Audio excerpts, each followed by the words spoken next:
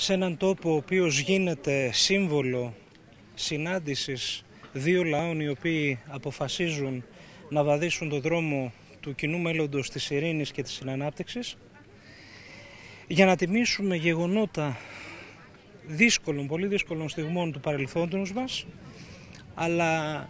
με γεμάτη τη φαρέτρα μας από ιστορικά συμπεράσματα τα οποία θα είναι ο ισχυρός μας οπλισμός καθώς βγαίνουμε από την κρίση.